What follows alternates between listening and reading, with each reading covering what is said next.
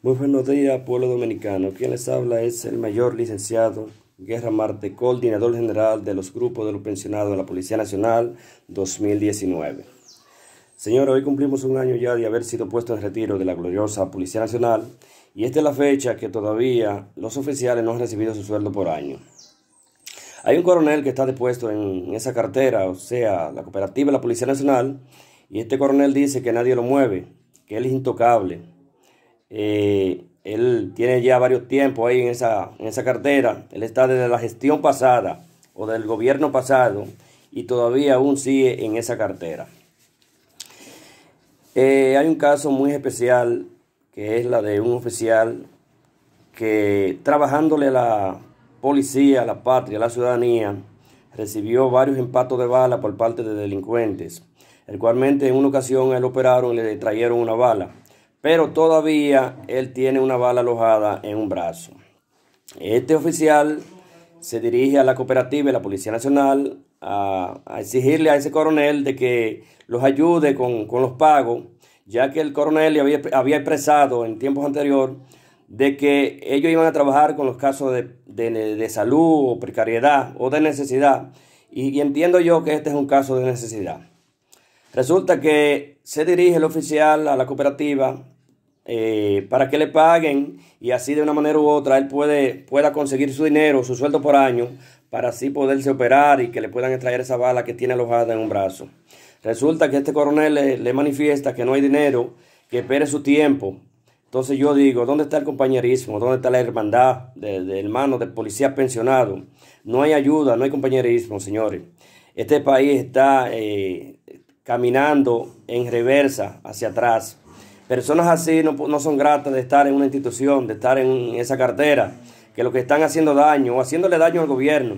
Sabemos que tenemos un presidente excelente, que es el presidente Luis Abinadel, que obviamente los veteranos, los policías, eh, dieron su voto a su favor para que de una manera u otra este país pueda avanzar y crecer en base al desarrollo y la economía, principalmente.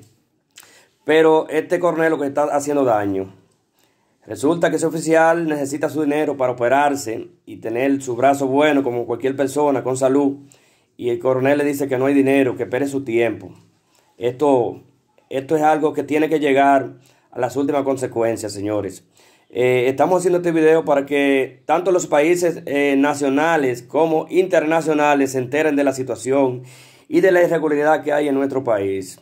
Eh, sabemos que estamos ahora mismo en un tiempo de pandemia, de precariedad, la salud no está muy acorde eh, con ese virus que nos arropa, que es el COVID-19, pero este es un caso de necesidad, un caso de salud, porque el, el caso lo amerita, amerita de que le paguen su dinero, y no obstante, es un compromiso que tiene la cooperativa de pagarle el dinero de los sueldos por año no quizá este oficial que se fue pensionado con este problema, sino a los oficiales, al resto de los oficiales que dieron su vida, arriesgaron su vida, principalmente como la del mismo oficial que acabo de expresar, que, está ahora mismo eh, padeciendo de esa situación. Eh, hacemos un llamado al presidente Luis Abinader para que tome carta en el asunto con relación a ese coronel que actualmente me voy a reservar el nombre. Eh, pero todos los oficiales lo conocen, saben de quién estamos hablando, eh, pero es, es momento de que el presidente eh, haga movilización, haga cambio en esa cartera, en esa cooperativa, porque entiendo que es un daño que ese oficial o ese coronel le está haciendo al presidente Luis Abinadel. Eh, sé que este, este, país, perdón, va caminando por buena trayectoria, con buenos deseos de progreso, de economía, pero lamentablemente eh, con ese oficial en esa cartera, entiendo yo que no vas a avanzar, que lo que le están haciendo daño. Nosotros en una ocasión le hicimos una carta al presidente Luis Abinader referente a nuestras exigencias de derecho o nuestra reclamación de los sueldos por año. Y el presidente Luis Abinader eh, remitió inmediatamente la carta que le, que le eh, enviamos.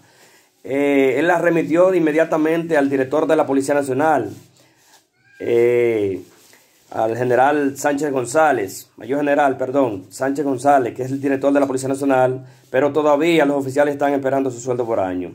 Ya es justo ya de que de tener un año en la institución ya puesto en retiro y todavía no, hemos recibido los sueldos por año. Espero que, que resuelvan la situación y que el país pueda avanzar y crecer en todos los sentidos. Muchas gracias.